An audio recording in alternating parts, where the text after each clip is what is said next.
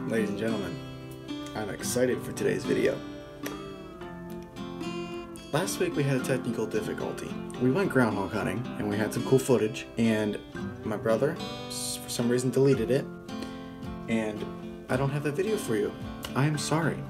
But it gives me an opportunity to do a product review, I guess. So I was walking around and uh, looked in my backpack, and that's when I remembered that I had this awesome thing. This might look familiar to some people because it's a very popular thing. So what I want to do today is I want to review the Outdoor Edge Wild-Pak game knives. So these knives are, it's just a super cool set of knives, but I think they're like 80, 90 bucks. They come in this uh, awesome pack here, this whole shebang of things. So first we have a caping knife. This is the Wild Cape. Um, they're really nice. It's a really nice rubber handle. Fits very good in my hand. It's very comfortable. But the caping knife, if you don't know what caping is, it's when you are slowly cutting around the carcass of the deer, pulling the hide off the animal. So as you're pulling the hide, you're kind of just cutting the uh, tissue and everything that's in between, you know, the muscle and the hide. So that's what the caping knife does. It's really small and it's good for that. And the second knife is the skinning knife or the gut hook knife. So this is a much bigger bladed knife. Still same handle. They all have the same handle pretty much. This is a much bigger blade on it. It's a much more sturdy, durable blade. So this is the blade, this is the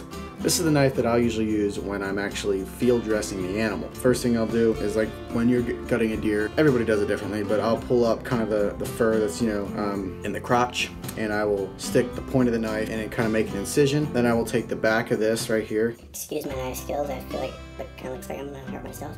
But there is, it's kind of a knife in, in here in the, in the gut hook and I will take this and I will cut along the stomach, up the stomach line to the edge of the rib cage. The gut hook is really nice because it's just cutting that layer of skin right there and it's not cutting into the stomach. It's a very useful tool. Then we have the wild bone. This is a boning knife and this is actually, this is what an actual like butchering knife is used for. It's really used for, you know, boning out a deer. I don't use it a whole lot. I do use it for some things. I'm not a professional butcher by any means. Most butchers will tell you that, I don't know, you can correct me in the comments, but most butchers will tell you that uh, a boning knife is what you should use. If you like this video, guys, hit the subscribe button and uh, click the bell icon right next to it. Never miss a video. It's really helpful for you because it tells you when I make a video. One of the really nice things that this Wild-Pak thing comes with is a, a bone saw. Bone saw can be used for all sorts of things, whether it's cutting bone or even just cutting limbs in your tree stand. When I use a boning saw, a couple things that I'll use a boning saw for. A lot of times I'll use a boning saw and I will cut the sternum. That makes um, dressing the deer so much easier. You can pull the lungs and the heart out and everything. You can cut the esophagus much more easily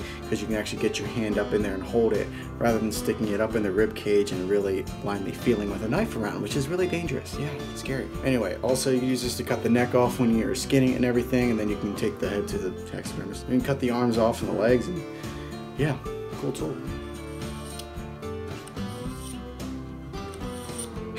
Now, then there's this thing. This is the steel stick.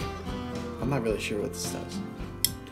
It looks like a dog bone. I think it's to spread the rib cage. It helps you do whatever you do in a rib cage. I don't know. But it's here if you want it. So that is everything from the Wild-Pak. It's an awesome thing from Outdoor Edge Knives. If you haven't already, go and check it out. Put a link in the description. Um, it's just an awesome, awesome set. Go get yourself one. And I hope to see you guys in the next video.